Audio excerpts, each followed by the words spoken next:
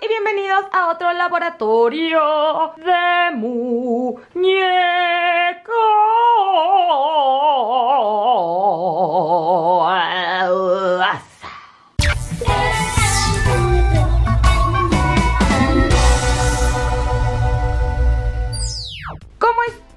Espero que estén muy bien. El día de hoy tenemos muñequita nueva. Y como recordarán, en algún video anterior hice una muñeca utilizando solamente mis materiales de color rosita. Es más, se los voy a enseñar, permítanme.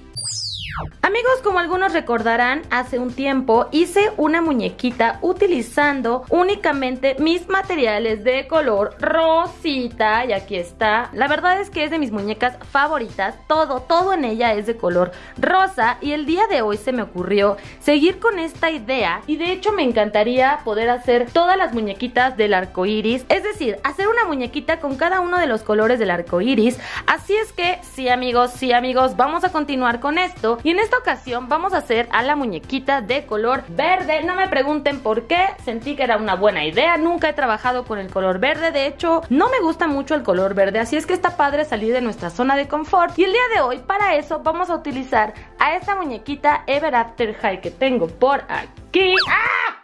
¡No te suicides! ¡Nadie te va a reemplazar! Ok, aquí está. ¡Ah! Bueno amigos, al parecer nuestra amiga Rosa Melcacho, Rosalba, Rosalinda ya no quiere salir, entonces bueno, aquí tenemos a la muñequita con la que vamos a trabajar, es una Ever After High que compré de reuso, aquí están todos mis materiales verdes que tengo, vean qué hermoso cabello, algunos listoncitos, algunos brillitos, se me ocurrió también eh, utilizar algunas hojitas verdes, no sé amigos, vamos a explorar este, alternativas con esto que tenemos, nada más podemos trabajar con color verde. Tal vez como para darle algún toquecito o algo podemos ponerle alguna piedrita dorada o algo así porque pues no, hay, no tengo piedras verdes. Entonces no lo sé. Por el momento solo vamos a trabajar con todo lo verde que tenga. Así es que vamos a comenzar obviamente preparando a la muñequita. Así es que permítanme limpiar este cagadero.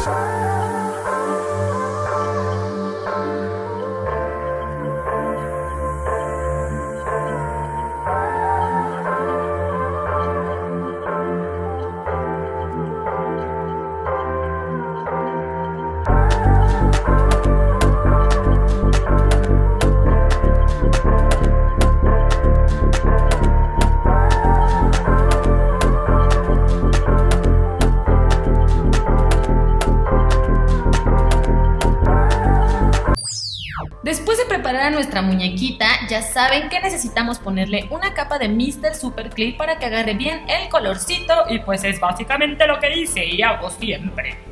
Y en lo que se seca la cabecita, decidí comenzar directamente a hacer la ropita de nuestra muñeca con este pedazo de tela verde que me encontré por ahí. Y miren, honestamente yo había pensado en hacer una muñeca como un hada, como campanita, como muy naturaleza, con hojitas, ya saben, lo típico del color verde. Pero se me ocurrió que para esta serie de muñecas deberíamos de hacer todo lo contrario a las ideas que nos trae un color en específico. Por ejemplo, cuando piensas en rojo, pensarías en hacer una muñeca de fuego. Si piensas en naranja, entonces harías una muñeca muñeca como de cítricos. Si piensas en azul, harías una muñeca de agua. Entonces dije, no, estas muñecas que voy a hacer quiero que estén inspiradas en otras cosas. Así es que estaba yo un día navegando en Facebook y una amiga subió una fotografía de Megara de Hércules. Estaría súper genial basarme en este personaje y en toda la estética griega. Así es que fue lo que hice y comenzamos a hacer el vestidito.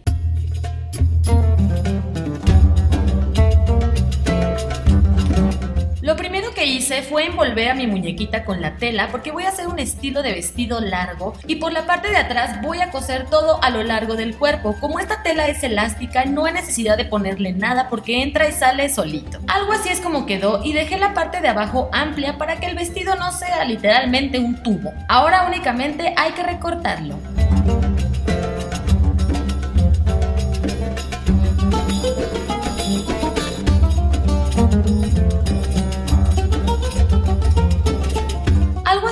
Va quedando, miren, ahorita parece un terrible calcetín, pero no va a quedar así amigos. Ahora solamente corté el largo del vestido y le hice un dobladillo.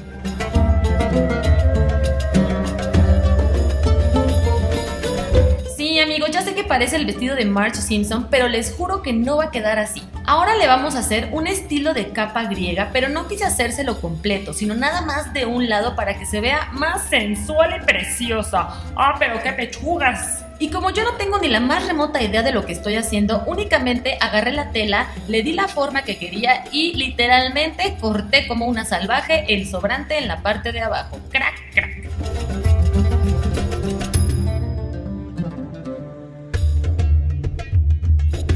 Y así sin ningún tipo de conocimiento, ni audacia, ni cuidado, cosí literalmente la parte de arriba con unos botoncitos. Así a lo bruto, amigos. No tengo ni idea de lo que hice, pero creo que salió muy bien.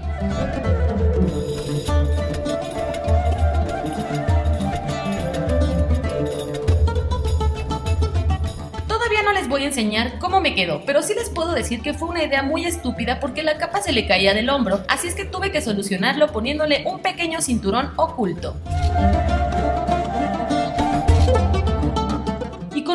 Conocimientos en bisutería, me aventuré a ponerle una cadenita en forma de cinturón con todo y su ganchito y con todo lo necesario. La verdad, no sé, amigos, ustedes vean lo que hice. Fuera de cámara me tomé la libertad de ponerle un listón para que se le viera mejor la cintura. Y amigos, yo no sé cómo rayos lo hice, pero funcionó muy bien el cinturón y se ve súper precioso.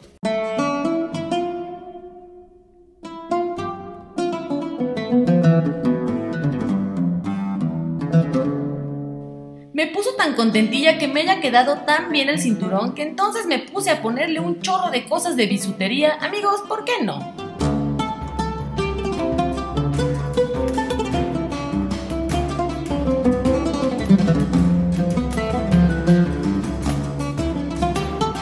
Y bueno, ahora es momento de comenzar con la cara.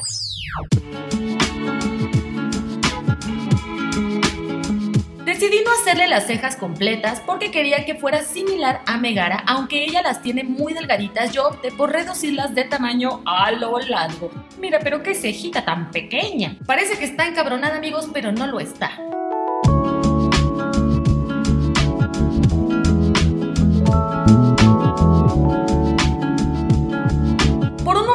Que estaba abusando del verde, pero qué diablos amigos, qué diablos. También los ojos se los puse verdes, al igual que las cejas y los labios.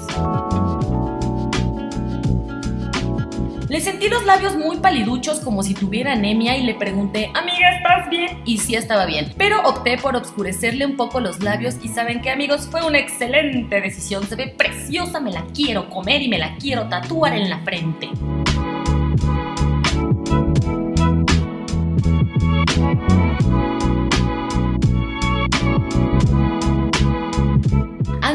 Sumamente inspirada y decidí pegarle cosas en la cara, literalmente. Decidí pegarle unas florecitas verdes y unos diamantes preciosos dignos de la reina del Olimpo. Quise decir diosa. Bueno, eso.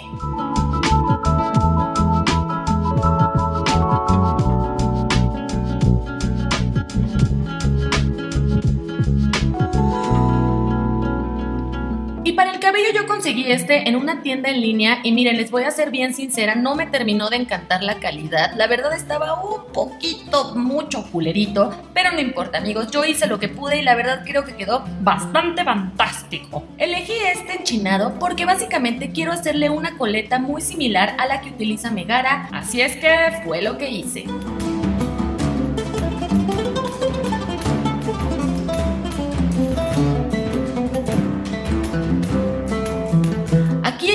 Cantando y me solté el cabello, me vestí de reina. Vean, o sea, trae el cabello de Gloria Trevi y no se veía nada mal, amigos, pero bueno, mi idea era hacerle una coleta.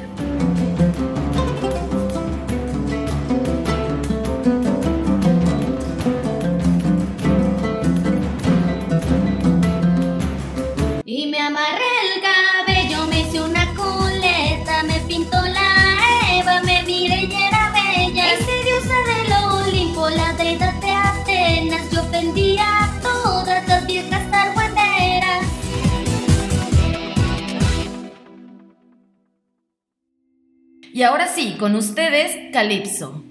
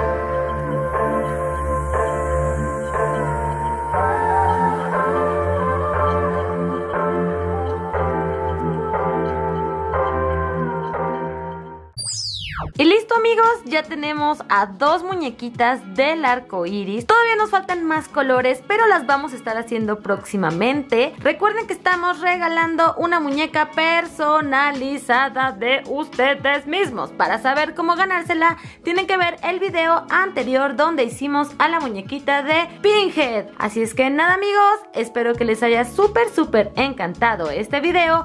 No olviden darle like, suscribirse, compartir, comentar y hacer todas esas cosas de amor. Bye.